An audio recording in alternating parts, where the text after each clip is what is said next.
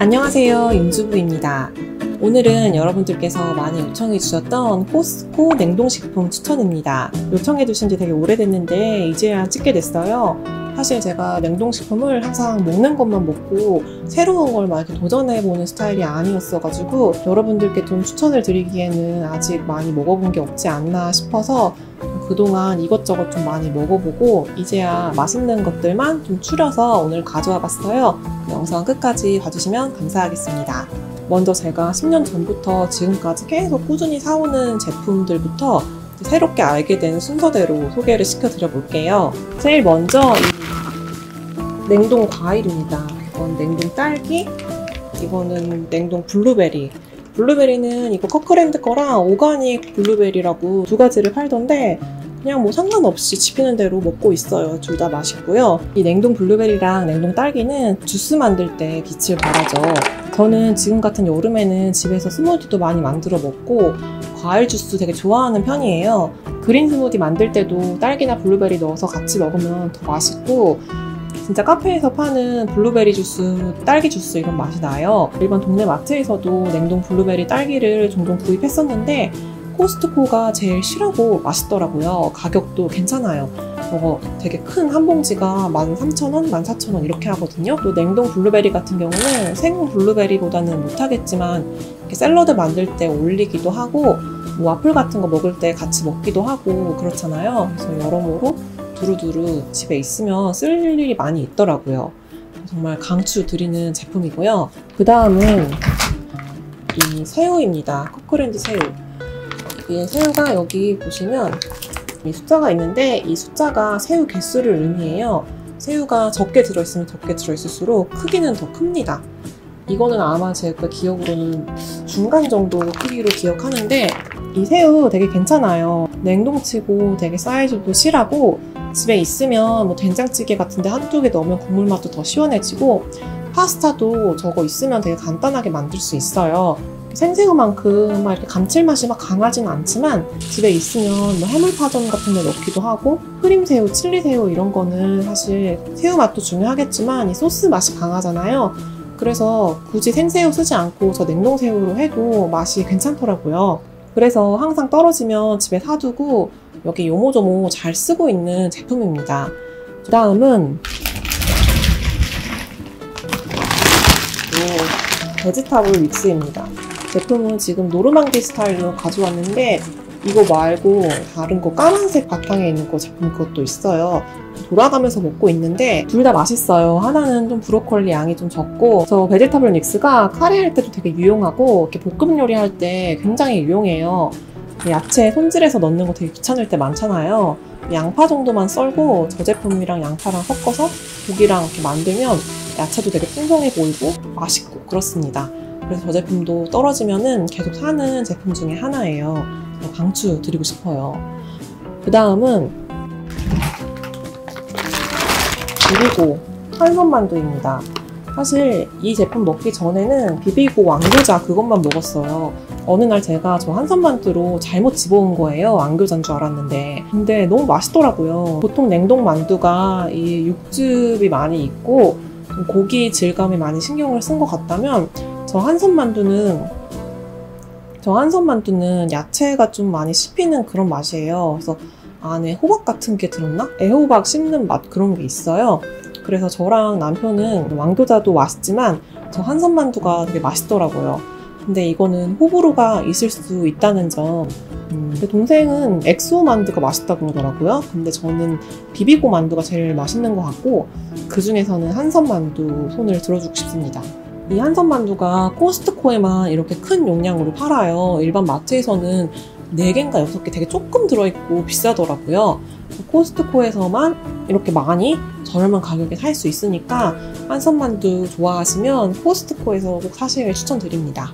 다음은 이 나탈리 주스입니다. 이 나탈리 주스는 이렇게 두 병을 한 묶음으로 팔고 있고 흔히 주스는 냉장인데 이 나탈리 주스는 냉동이에요. 지금 이거 한 병 거의 다 먹어서 이거 지금 해동해서 먹을 건데 나탈리 주스 진짜 맛있어요. 옛날에는 이거 오렌지 말고 비트 주스도 코스트코에서 팔았던 거 제가 본 적이 있는데 최근에는 잘 안 보이긴 하더라고요. 비트도 맛있고 이 오렌지도 되게 맛있습니다. 제가 알기로 정제수, 설탕 이런 거 하나도 안 들어가고 생 오렌지를 다 갈아서 냉동해가지고 진짜 그 오렌지 맛 그대로 담았다고 그렇게 알고 있어요. 드셔보신 분들은 아시겠지만 진짜 설탕 맛 같은 거 그런 거 하나도 안 나고 오렌지 향이 확 퍼지고 알갱이도 좀 살아있고 되게 맛있어요. 이거 드셔보시라고 추천드리고 싶습니다. 그 다음은 이 브라타 치즈 추천드리고 싶어요. 이게 냉장이 아니고 냉동 코너에 있습니다. 이게 냉동고에 보관했다가 먹기 전 2, 3일 전에 냉장고에 옮겨서 천천히 해동시켜서 먹는 제품이거든요. 제가 이거 일부러 냉장고에 지금 넣은 지 한 3일 된 제품인데 이렇게 보시면 이렇게 안에 동그란 치즈가 들어있어요.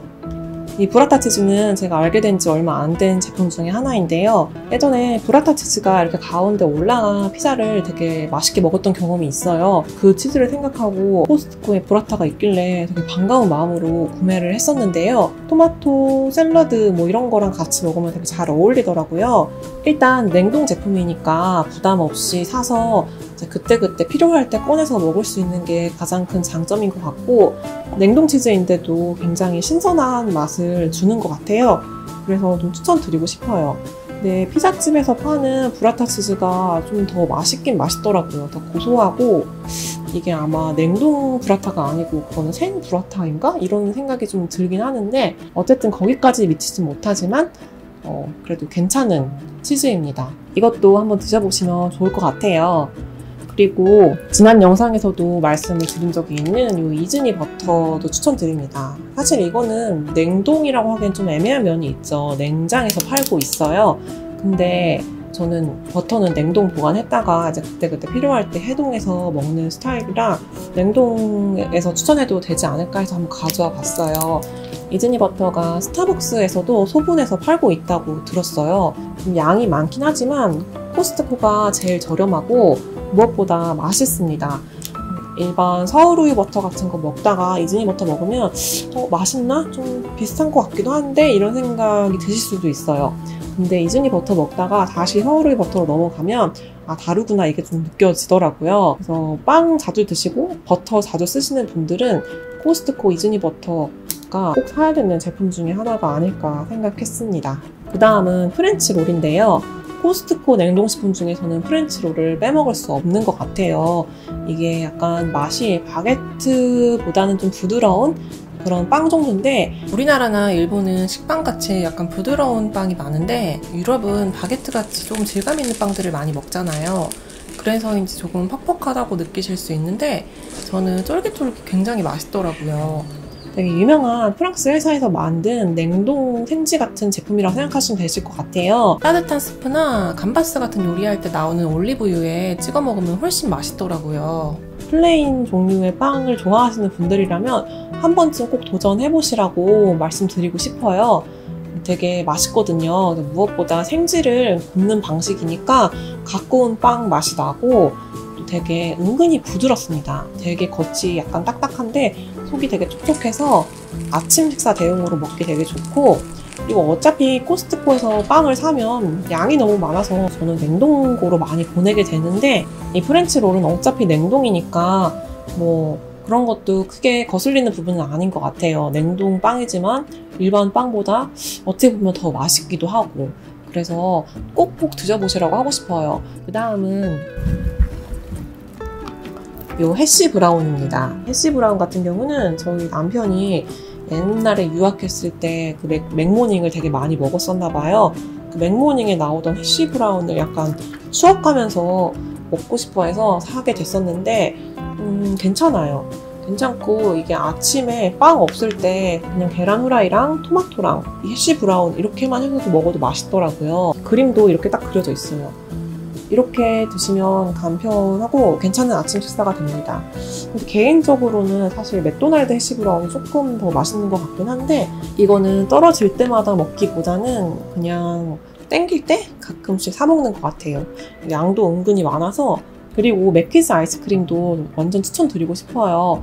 왜 이런 일반 마트에서 파는 아이스크림 중에서 와 좋아하시는 분들 계신가요? 저는 와 진짜 좋아하거든요. 그 와랑 비슷한 맛이에요. 와가 조금 더 맛있는 것 같긴 한데 보통 일반 바닐라 아이스크림은 약간 꾸덕한 그런 느낌이 있잖아요.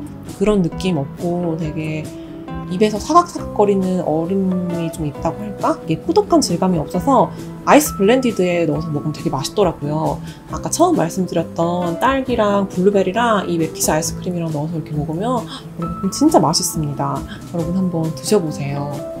그리고 마지막은 제가 지난번에 안주 영상에서 추천드렸던 제품인데 이 리스토란테 피자입니다.